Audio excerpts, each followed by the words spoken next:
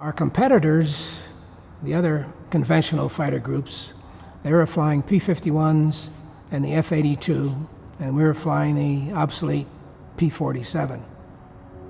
And uh, they didn't think we were for real. Number one, we were black and we were flying this obsolete aircraft. Uh, we led this competition from start to finish. Uh, one of the meet rules was if you have to abort, you start your engine and have to abort, you will not take off. Your team members will take off and their scores will be counted. Now, there are two trophies to be awarded for this weapons meet one high individual and one high team.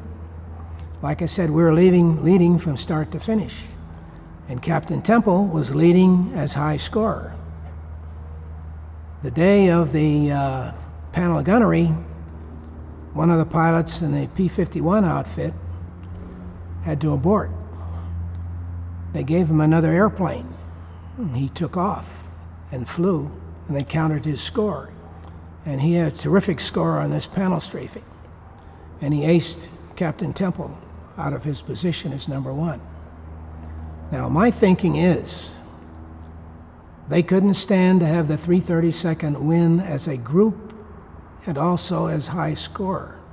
So, therefore, they bent the rules and let him take off after he aborted his mission. However, we won the meet and we were never recognized as the winners of the 1949 weapons meet. The Air Force Association puts out a magazine every month. Once a year, they put out an almanac. One of the uh, items in the almanac are the winners of the 1949 weapons meet through present day.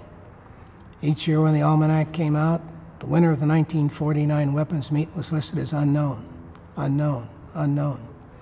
Finally, in 1993, our commander, Colonel Campbell, researched, got the data together, presented to the Air, Air Force.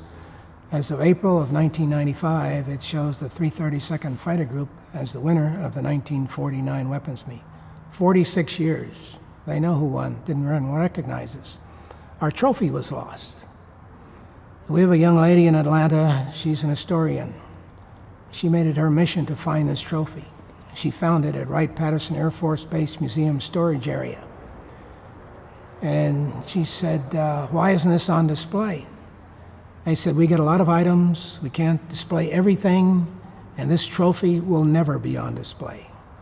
Well, it is on display at Wright Patterson Air Force Base Museum. 55 years in hiding.